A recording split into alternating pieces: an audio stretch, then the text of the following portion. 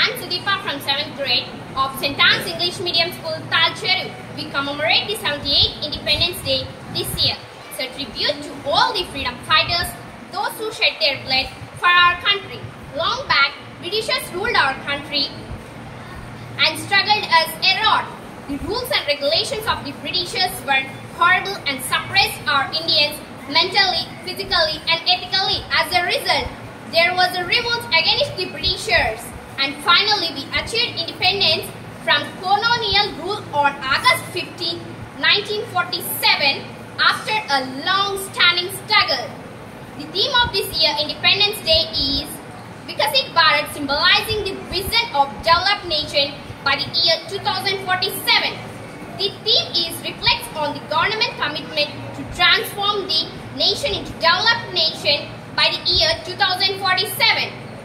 This day marks as the historic milestone in the hearts of Indians. It's a patriotic endeavor for all of us. At last, let us take a pledge. Let us take a pledge of this day, keep up the patriotism and keep our responsibilities as an Indian. Thank you for giving me this opportunity. Jai Hind!